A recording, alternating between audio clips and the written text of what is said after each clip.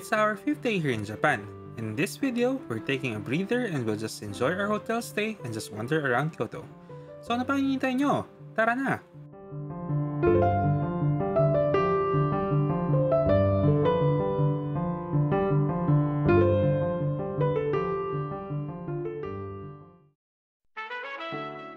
We woke up early and we departed for Fushimi Inari Shrine. This is one of the most famous tourist attractions in Kyoto. Here, you can see roughly 10,000 torii gates that this shrine is famous for. You can check out our last year's video where we ate street foods at the shrine grounds.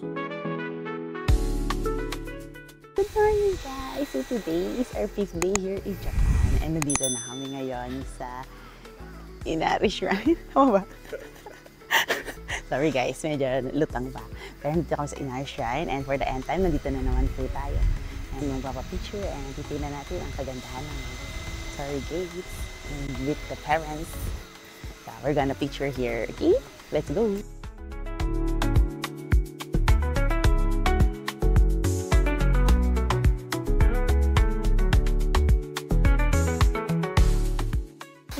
So tapos na kami maglibot dito sa Fushimi Inari Shrine.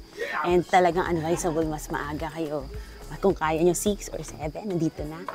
Para mas onti tayo. Ito medyo onti pa naman. Pero rumarami na kasi ano na ba ang oras na.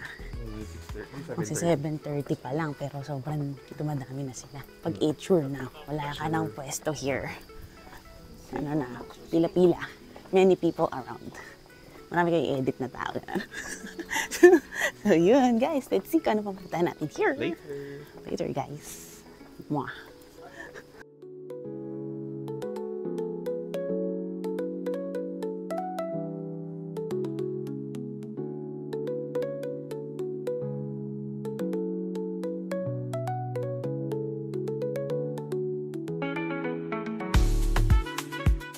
Once we're done taking photos, we went back to sleep in our hotel until checkout time.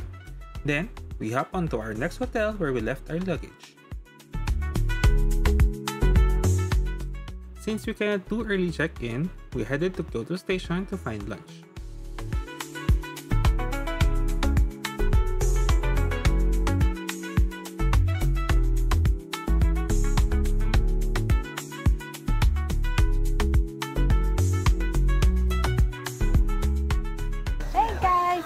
Kami sa Kyoto Station and kakain kami ng lunch since sa baba nun marami mga restaurant. So, dito kami kumain sa ramen ipada. So, ito yung in-order namin. Kakain muna kami! Kain! Bye! Kain bye!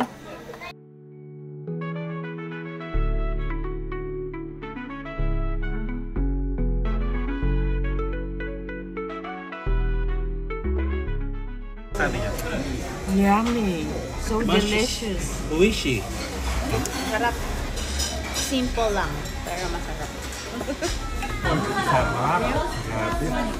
So rich and meaty. As we're walking around Kyoto Station, our attention was caught by these delectable cheesecakes.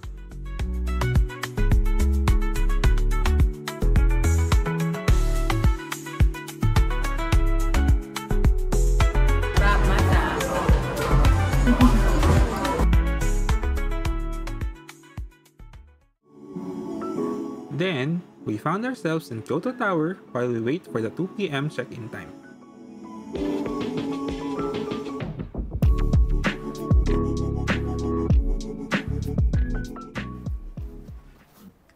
Hi guys! So, lilipat pala kami ng, ng um, hotel from Satetsu to Sakura Terrace kasi mas mura siya pag ano, pag weekend. So, lumipat kami. So, ayan, we're here again in our room tour here in Japan na naman sa isang room dito here, here, here sa Kyoto pala. so, let's go. Let's see anong mga nandito sa room. So, as usual, yung toilet, lagi siya nasa halos usually sa entrance pa lang. Toilet na. So, yes. Minimalist. Minimalist Like toilet, minimalist. Japanese automatic, and ano, compact size bathtub. And then, ganito, queen size bed or double. Parang double lang pala to dito sa queen. Yan, ganda. Mas malaki to. Parang mas malaki talaga sa ano, sa mga province na hotel. So, ito, small living area. Diyan kami kakain later ng mga bili sa 7-Eleven. Oh, so, yan lang guys. Yung natin kung ano nakikita dito. May overlooking ng Kyoto. Ganda. Pero sinasara namin kasi ang init. Pero ang ganda, ah. Ganda ng view, ah. Ngayon ko nakita to, ah. Nakikita yung mga bundok ang ganda. Di lang mga building. Ganda. Easy. So, yan. So, yun lang naman yung usual na mga amenities sa Kids Hotel. So, papahinga muna kami since alis kami later ulit sa uh, puntahan kami ulit na dito. Ito, tourist spot. So, later again, guys. Bye ka na. Sleep. Later in the afternoon, we decided to go to Yasaka Pagoda. Luckily, just across the street is a bus stop directly to where we're headed.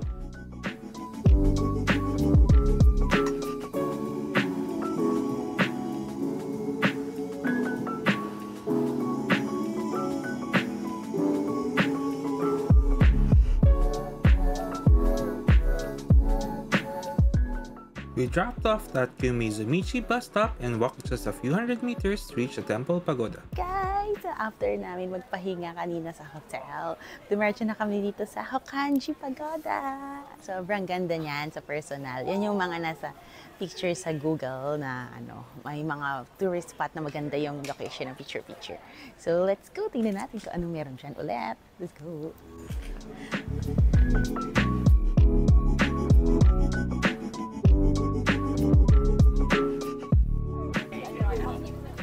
guys, so ito pala yung sikat na picture taking spot dito sa ano sa pagoda kan sa pagoda. Ayan, sa likod. So mas maganda dito mag-picture. Akit ka lang ng onte sa taas. So ayan na siya.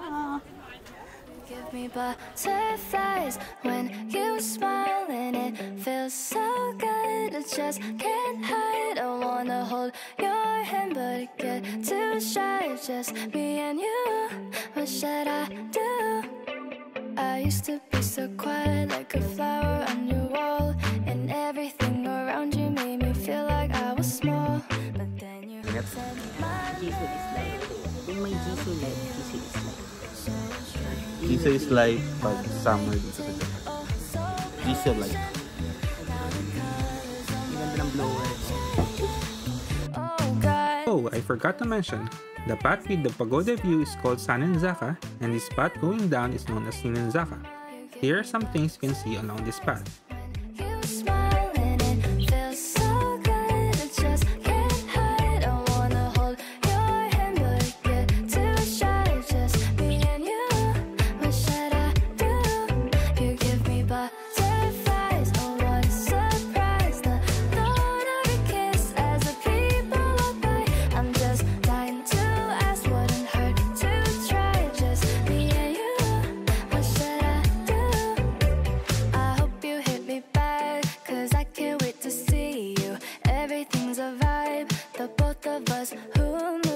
Fast things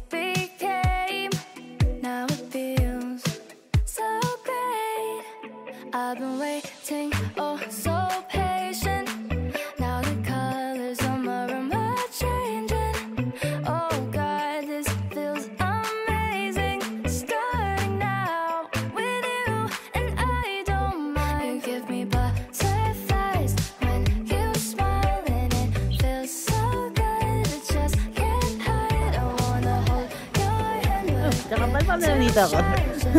Madam, ano bili naman dyan, madam? Wala. Tingin lang puro candy. Ba dito candy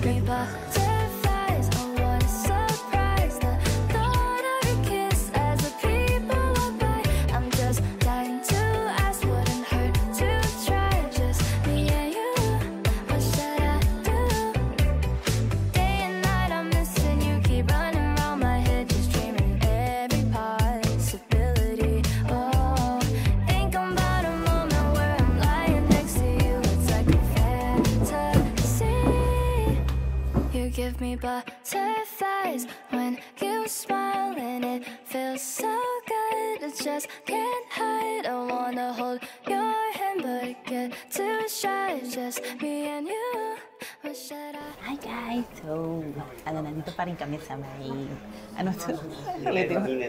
Ninenzaki Street. And nandito yung traditional Japanese na ah, Starbucks store. So, mili kami ng cake and traditional mango wrap ba to?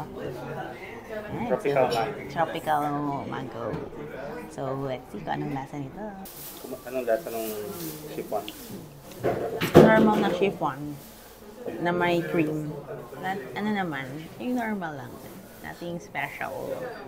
Nasa, Ganyan ba sa atin? Ha? May ganyan ba sa atin? Ulo. Sweet potato. Pili ko dito lang din yung sweet potato. Pero hindi ko alam saan nasa. Bakit yung sweet potato? Hindi ko alam. Yung mango, try mo yung mango. Ito, itong sa ibabaw. Try natin yung mango.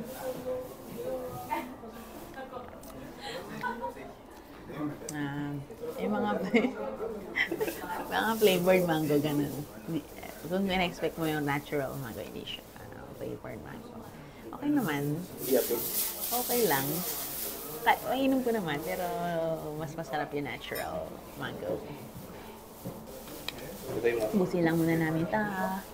Ayun pala, pag pupunta pa kami Starbucks dito sa Japan, lagi kami bumibili ng Starbucks card dun sa mga places na pinupunta namin. So dito sa Kyoto, pumunta kami sa Starbucks and nag-purchase kami ng Kyoto card. So 1,000 siyang ah, yen. Then consumable naman siya. So pagka bumibili kami nito, 1,000 worth yung food yung kinoconsume namin para ano, para magamit namin yung binayad namin sa card. Diba? Tsaka dito lang kasi siya nagagamit yung Shopee sa ibang bansa. So, yun lang. Bye! Kain ulit kami.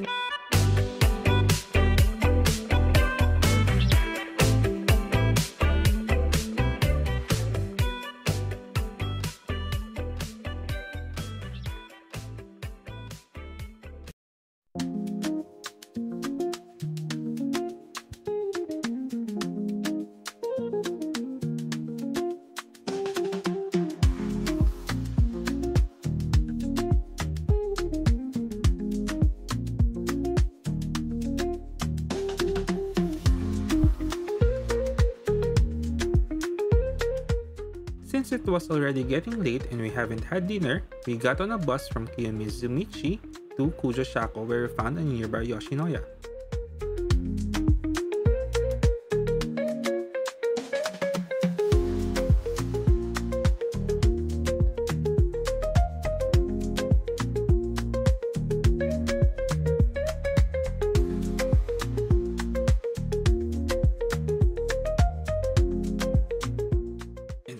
Sumptuous dinner, we called it a day and went back to our hotel.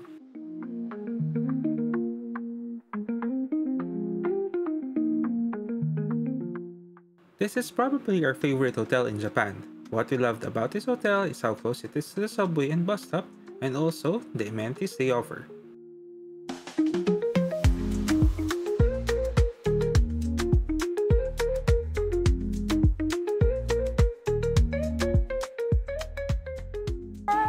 So to end our day, bumalik na kami sa Sakura Terrace Hotel and kinlaim namin yung welcome drinks and yung in-order namin, marami siyang iba-ibang juice and alcoholic drinks. Pero sa akin, orange juice kay Morel, ano ba yan? Tequila Sunrise. So, ayan, yun lang naman. And tomorrow, let's see anong pupuntahan natin. And this ends our fifth day here in Kyoto, Japan, in Japan. And we're here in Kyoto, okay? Bye!